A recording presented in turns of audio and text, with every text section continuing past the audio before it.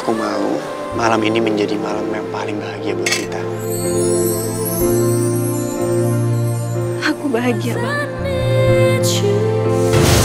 Kevin itu bukan anak dari Rama Buana. Itu mereka! Buka!